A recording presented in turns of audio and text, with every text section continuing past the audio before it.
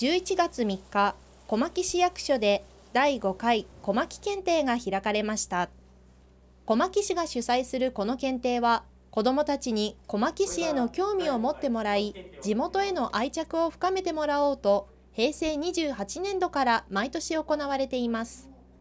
はじめに主催者の小牧市教育委員会中川信義教育長が挨拶しました。体温測定やアルコール消毒、また室内の換気など新型コロナ対策を徹底して開かれた今年の小牧検定。市内在住の小中学生28人が参加しました。問題用紙と回答用紙が参加者へ配られ、検定が始まります。それでは始めてください。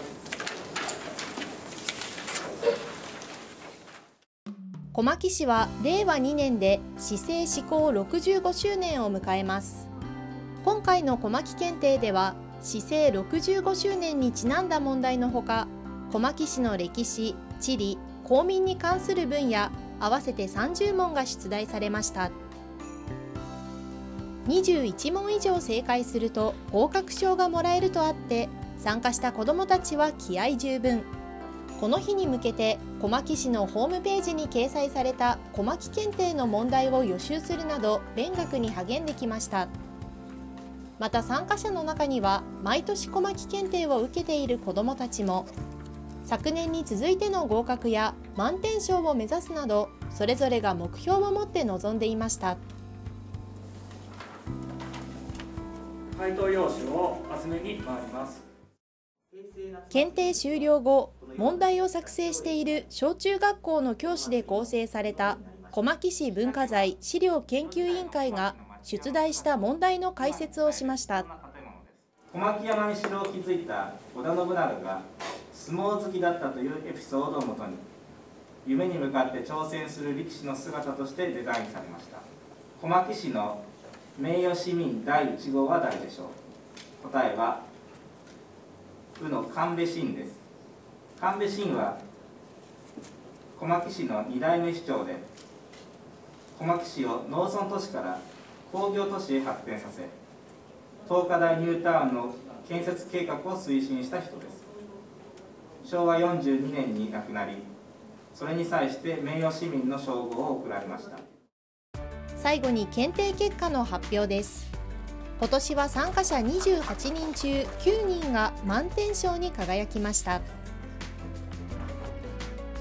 私は今回2回目なので嬉しいです。私は歴史が好きなのでお城とかそういうのにすごく興味があります。たくさんの歴史を知ることでいろんな知識が増えるのでそれが一番小麦にとっていいことであるし自分にとってもいいことだと思うのでそれが一番いいです。何回も挑戦してるけど、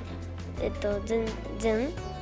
取れなかったけど今回取れて嬉しいです。小牧のどんなところが好きですか？えっと賑やかなところが好きです。自然がいっぱいあるところです。もっとイベントとか参加してみたいなと思います。まあ、いろんな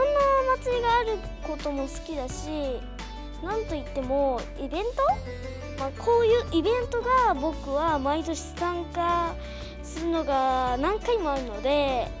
そういうところが好きです去年も満点取って今年はちょっと取れるか不安だったけど取れて嬉しかったです。交通とかも揃っていて不便じゃなくてこういう小牧検定ができるほど歴史がたくさんあって楽しいところです。長岩高知の美味しい肉とかがあって好きと小牧に住んでた人とかあのいろいろな人が知れてよかった。満点合格できて嬉しいしあと小牧市の歴史とかそういう文化を知れてよかったです。お兄ちゃんとか家族のみんなが問題出してくれて頑張って勉強しました。飛び上がるくらいちょっと嬉しいです。小牧検定の問題は小牧市ホームページに掲載されています。ぜひ挑戦してみてはいかがでしょうか。次回の小牧市政だよりは広報小牧特別企画子ども市民レポーターをお送りします。